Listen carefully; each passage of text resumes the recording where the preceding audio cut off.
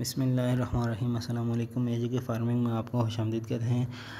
آج ہم آپ کے سامنے ایک نئی ویڈیو لے کے حاضر ہوئے ہیں۔ امید ہے سب بھائی حیریت سے ہوں گے۔ تو ہماری ویڈیو کا ٹائٹل ہے، کامیاب فارمنگ کے چند اہم نکات۔ ہماری ویڈیوز جو ہے نا، وہ لازمی پوری دیکھا کریں تاکہ پوری بات آپ کو سمجھ آ جائے کرے۔ اگر آپ نئے وزٹر ہیں تو ہمارے چینل کو سبسکرائب کر لیں۔ اگر آپ نے آلریڈی ہمارے چینل سبسکرائب کیا ہوا ہے تو آپ کی سپورٹ کا بہت بہت شکریہ۔ بکریوں کی فارمنگ کو کامیاب بنانے کے لیے چند اہم باتیں آپ کی کوشش گزار کرتا ہوں کہ جانوروں کا مکمل ریکارڈ رکھیں۔ کب آپ نے جانور لیا آپ کو اس میں سے کتنا منافع ہوا ہے؟ بکریوں سے سال میں تقریباً دو بار بچے لینے کی کوشش کریں اور بکریوں سے حاصل ہونے والے ہر بچے کی اچھی پرورش کریں، تمام بیماریوں کے حفاظتی ٹیکہ جات لگوائیں، تمام جانوروں کو اندرونی و بیرونی کرم کو ادویات دیں۔ اور سب سے بڑی بات کہ شیڈ کی صفائی پر زور دیں، ٹھیک ہے؟ اچھا ماحول جانوروں کو فراہم کریں، تمام شیڈ کو تقریباً ہر ماہ چونا لازمی کرائیں۔ کریں اور خاص کر سردیوں میں بکریوں کی اچھی پیداوار کے لیے اچھی صحت کا ہونا لازمی ہے اور اچھی صحت کے لیے اچھی خوراک کا جو ہونا ہے نا وہ بہت لازمی چیز ہے۔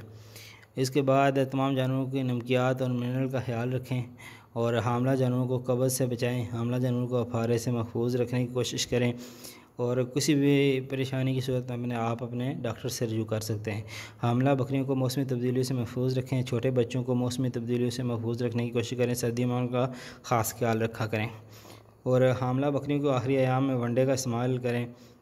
اور بکریاں تقریباً، بکریاں یہ تقریباً ڈیڑھ سو یا ایک سو پینتالیس دن میں بچہ دے دیتی ہیں۔ بچوں میں میل فروخت کریں اور فیمیل رکھا کریں تاکہ اپنی، آپ کا جو سیٹ اپ ہے نا وہ بڑا ہو جائے۔ اور حاملہ بکریوں کے جو ہے نا وہ حیوانہ کو سوزش اور سے محفوظ رکھیں۔ نسل کشی پندرہ مارچ سے تقریباً پندرہ اپریل اور پندرہ ستمبر سے پندرہ اکتوبر تک کریں۔ ماہ جولائی اور اگست میں بکریوں کا ملاپ نہ کرائیں اور اس سے پہلے، ایک ماہ پہلے بکریوں کو ونڈا جو ہے نا وہ لازمی استعمال کرائیں۔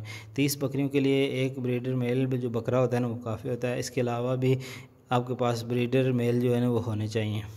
بریڈر میل کو نسل کشی کے موسم میں ہی ریوڑ میں چھوڑیں اور ویسے ان کو الگ رکھا کریں۔ اور سب سے بڑی بات کہ اگر آپ نوکروں کے ساتھ خود بھی شرط میں کام کیا کریں جانوروں سے پیار اور محبت سے پیش آنا جو ہے نا، وہ لازمی شرط ہوتی ہے۔